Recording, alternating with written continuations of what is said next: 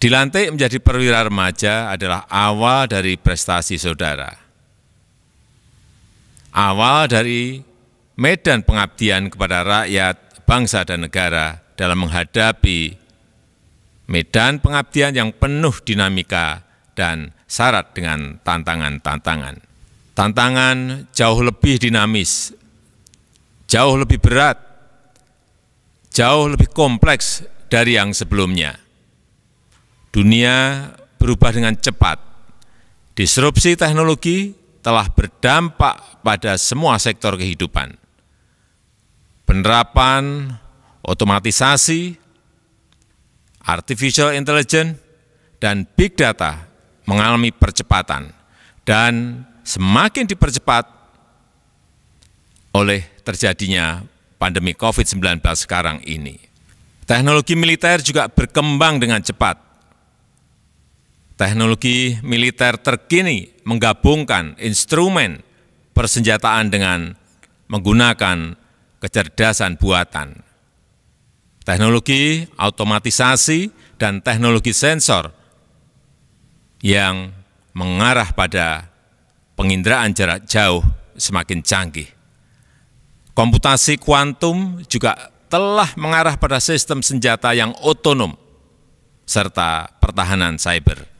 Tantangan kejahatan yang dihadapi oleh perwira kepolisian juga sangat berat.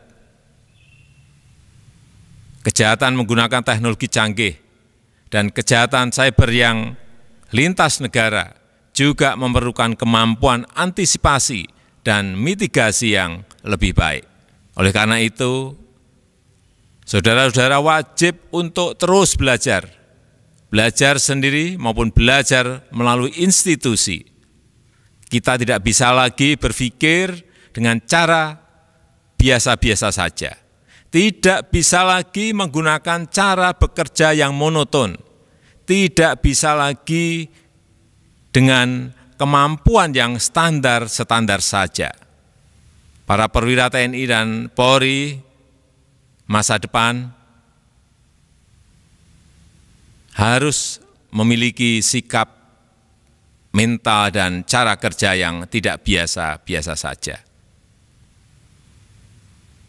Harus semakin cerdas dan lincah dalam menghadapi perubahan, cepat beradaptasi, dan selalu berpikir inovatif, dan harus lebih baik dan lebih cepat dibandingkan negara lain para calon perwira remaja TNI dan Polri.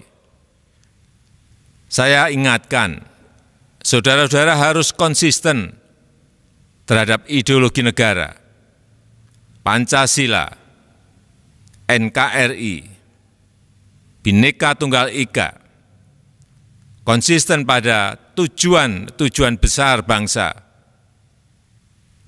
memiliki jiwa kasatria dan pantang mundur selalu optimis pada kejayaan dan kemajuan bangsa. Saya berpesan agar selalu merawat semangat persatuan kesatuan, semangat persaudaraan, dan gotong royong. Kita harus memberikan pelayanan yang terbaik kepada rakyat, kepada bangsa, dan kepada negara. TNI dan Polri harus selalu bersatu dalam menghadapi setiap ancaman dan tantangan bangsa ke depan.